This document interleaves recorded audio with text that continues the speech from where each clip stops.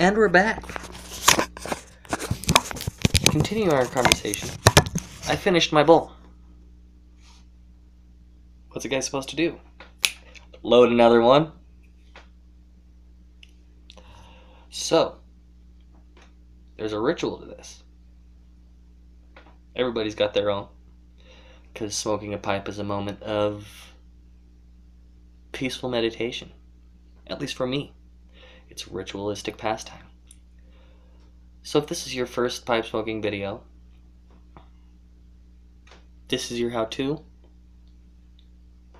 and I'm the shredding piper. Let's get to it. Take your dirty pipe cleaner after you've taken your pick and cleaned all the ash out of your bowl. You take your dirty pipe cleaner, clean out the ashes. Make sure there's no soot clinging to the edges. This is how you build up a nice cake. Nice and even caked at least. Take a clean pipe cleaner, run it through there. Make sure there's no blockages in the shank or the stem. Turn it six times. And turn it six times the other way. Should have 12 turns. Remove pipe cleaner A. Return to pipe cleaner B. Run through, make sure you got no pipe cleaner fuzz, nothing in there. Clean. Okay. Now I just blew moisture into my pipe. What are we going to do about gas? We're going to clean it again. Reinsert pipe cleaner B after you've thrown away pipe cleaner A because it's all nasty and dirty now. Six times, six times. That's just me. That's just my weird OCD. I like even numbers. I'm weird.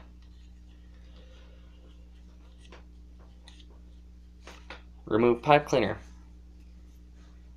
Now to the best part. One of the best parts. Loading your tobacco. Get your bag. I'm smoking some over-the-counter vanilla blend.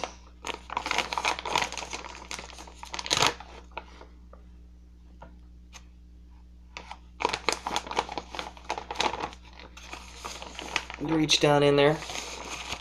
You grab a bit, a pinch of tobacco. Not much. You let gravity do its job. Over the bag or over a plate or a tray so you don't make a huge mess and lose a bunch. Then what I do, I just tap it down, let the loose shake of the tobacco just fall to the bottom of the bowl. Press light just to make sure it's all at the bottom. You're, you're building layers here. So the objective with building the layers is so you get a nice even smoke. Nice burn to the bottom because it should act as a furnace. Your coal hits, your coal sits up on the top, but you draw the heat from the bottom. So it actually, the air is.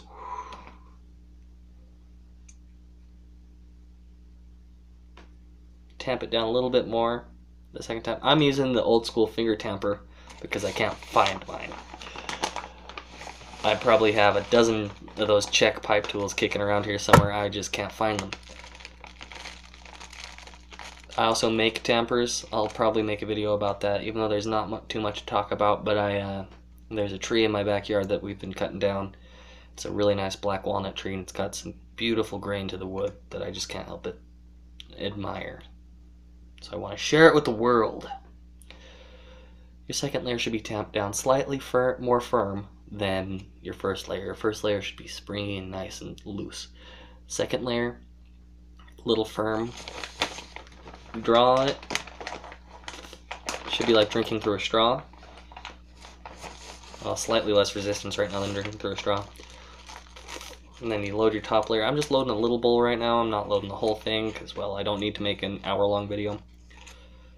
No, this isn't a very big bowl, but I smoke pretty slowly.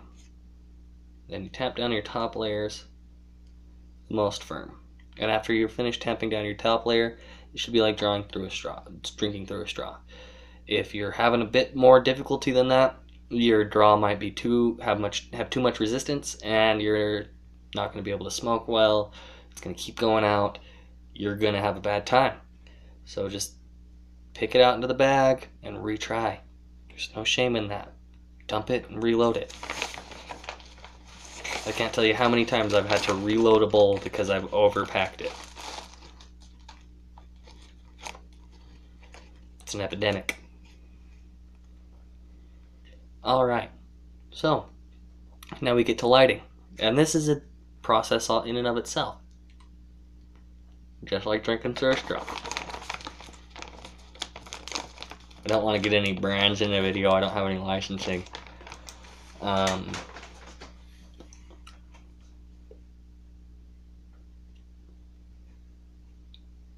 it's focus friendly.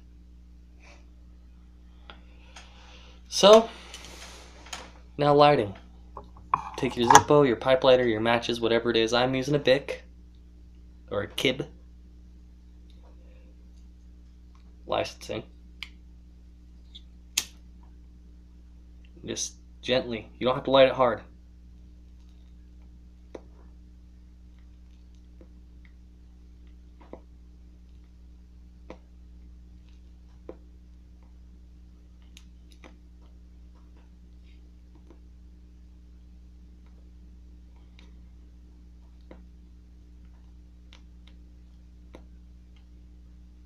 and that's your charring light.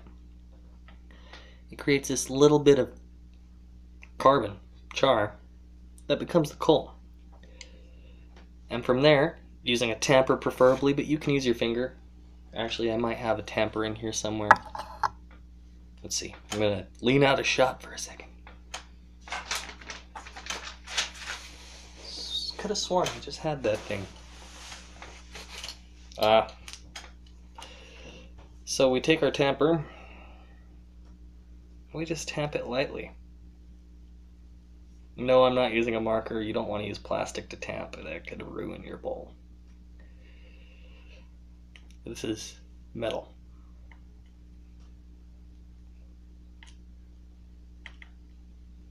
So you tap it down. Nice, even, nice and light. little resistance to the draw. I must have pushed it down into the air hole a little too much, so I'm just going to run the pipe cleaner through just to free up. Yep, I definitely did. That air hole a little bit.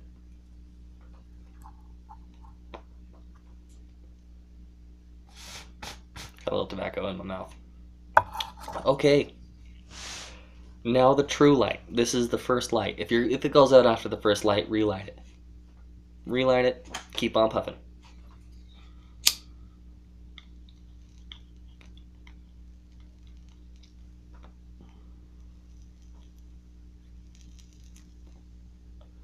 Like diamonds. And just puff on it, smoke away, enjoy your pipe.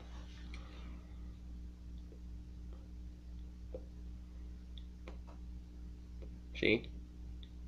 Already looks like it's going out. But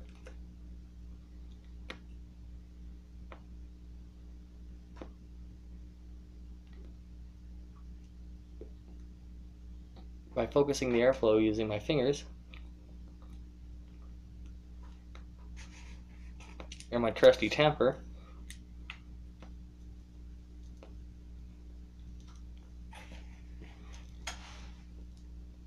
we're right back to life and develop a comfortable smoking cadence. Don't puff too fast. Puff too fast, it's going to get too hot, you're going to get a lot of tongue bite. Not fun, especially with aromatics. You got that casing, usually it's Cavendish, and that's not actually tobacco, that's a process. Usually it's a lot of Virginias in aromatics, which have a high sugar content.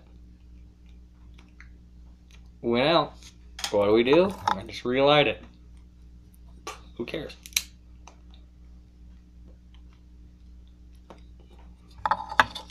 I'm not in some slow smoke competition. I'm enjoying my pipe at my house.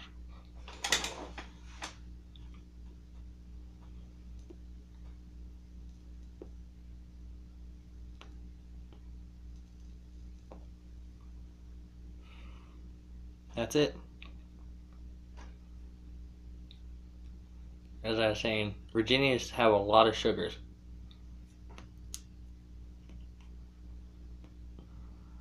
And that smoking that really hot, really fast, the sugars get right in, in your grill, and those burn really hot, and they cause tongue bite.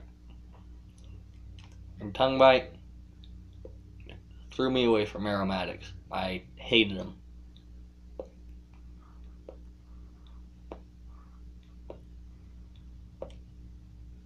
And there aren't a lot of aromatics I enjoy. I tend to stick to vanillas and cherries if I'm smoking an aromatic.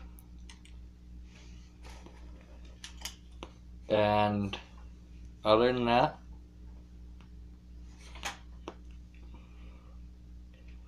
I like Latakia Forward English blends.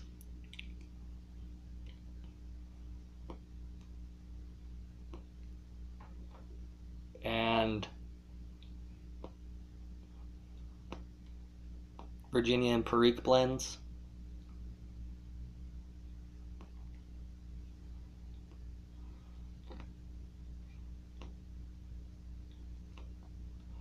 But if you give me something with Latakia in it, I will smoke it all day, every day. Latakia, a lot of people don't like it. Really smoky. Like leather and campfire and just really, it's an acrid smoke is a good way to describe it. But when it's properly balanced, it has quite it actually can have quite pleasant room note in the in concert with the blend of orientals and a touch of perique it can have an incense esque quality but I don't have any Latakia and that's sad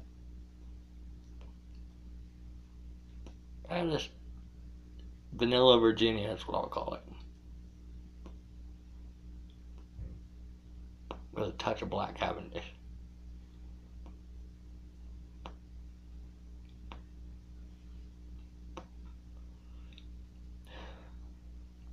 So, what are your favorite blends? What are some questions that you have that you would like me to try and answer? If I don't know it, I'll find it. I'm a fan of straight pipes. What? How about you? Straight or bent? Briar or meerschaum? Clay? Metal? Whatever you like to smoke out. Talk to me. Let me know how you feel.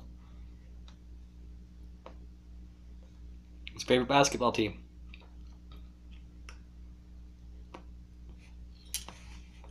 What do you think about the Kevin Durant injury? What kind of guitars do you like?